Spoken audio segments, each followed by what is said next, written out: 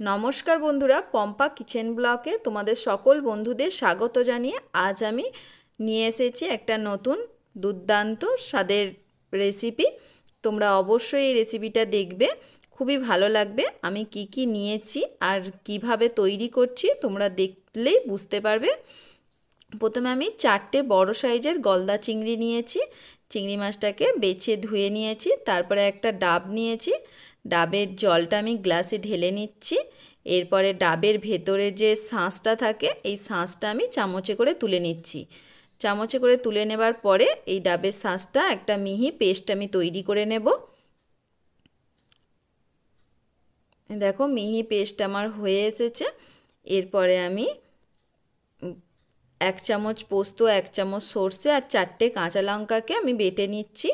এই বাটাটা আমি একটু ডাবের জলটা দিয়ে ছেঁকে নেব এটাকে। তারপরে আমি চিংড়ি মাছটাকে পরিমাণ মতো নুন আর হলুদ মাখিয়ে দিচ্ছি, মাখিয়ে আমি পাশে রাখছি। এবার যে আমি সর্ষে, পোস্ত, কাঁচা লঙ্কাটা যে বেটেছিলাম, সেই বাটাটার মধ্যে পরিমাণ মতন হলুদ, লঙ্কা গুঁড়ো আর নুন দিয়ে দিচ্ছি। দেবার পরে ডাবের যে শাঁসটা আমি বেটে নিয়েছিলাম, বাটাটাও এর মধ্যে দিয়ে দিচ্ছি। দিয়ে ভালো করে আমি হাতে করে আগে মাখিয়ে নিচ্ছি। এই দেখো, এইভাবে আমি মাখিয়ে নিচ্ছি। তারপরে চিংড়ি মাছগুলো এর মধ্যে দিয়ে দেব। চিংড়ি মাছগুলো দেবার পরে আমি এক চিমটে চিনি দিয়ে আবার চিংড়ি মাছে আর এই মশলাটা একসঙ্গে আমি মাখিয়ে নেব। দেখো, এক চিমটে চিনি দিয়েছি, দিয়ে আমি হাতে করেই মাখাচ্ছি। মাখিয়ে ভালো করে মাখিয়ে নিতে হবে। এরপরে ডাবের মধ্যে এই চিংড়ি মাছগুলো, এই দেখো ডাবের ভেতরেতেই চিংড়ি মাছগুলোকে ঢুকিয়ে দিচ্ছি একটা একটা করে। তারপরে যে মশলা মাখাটা যেটা থাকবে সেটা আমি চামচে করে একটু একটু করে ঢুকিয়ে দিচ্ছি এর একইভাবে। একটু ঠুকে নিচ্ছি তাহলে ভেতরেতে ভালো মতন মশলাটা চলে যাবে।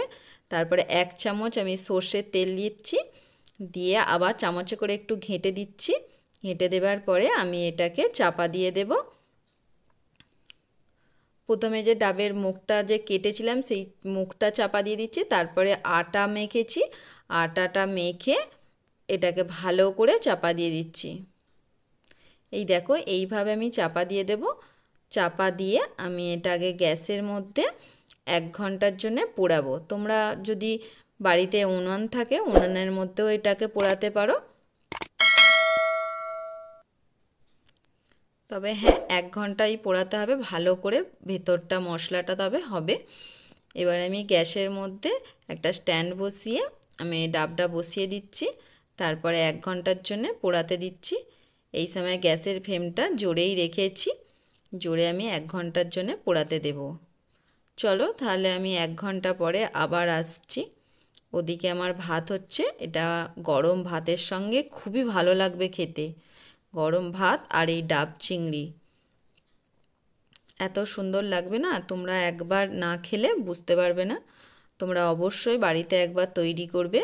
আর কেমন লাগে আমাকে কমেন্ট করে জানাবে। যদি ভালো লাগে তাহলে লাইক শেয়ার অবশ্যই করবে। আর আমার চ্যানেলটাকে সাবস্ক্রাইব করে পাশে থাকবে। পাশে যে বেল আইকনটা রয়েছে সেটাও বাজিয়ে দিও। এই দেখো আমি এক ঘণ্টা পরে গ্যাসের ফ্লেমটা বন্ধ করে আমি পাঁচ মিনিটের জন্য ঠান্ডা করতে রেখেছিলাম। এরপরে আমি খুলে তোমাদের দেখাচ্ছি, এই যে ডাব চিংড়িটা কীরকম হয়েছে। এ দেখো, এবার আমি চামচে করে বার করছি। আমার চিংড়ি মাছগুলো বড় বড় ছিল, সেই জন্য বার করতে অসুবিধা হচ্ছিল বলে আমি একটা চিমটিতে করে এটাকে বার করে নিচ্ছি। তোমরা যদি ছোট চিংড়ি মাছ দিয়ে করতে পারো, ছোটও করতে পারো। ছোটো দিয়েও একই টেস্ট লাগবে। এই দেখো আমার ডাব চিংড়ি হয়ে গেছে।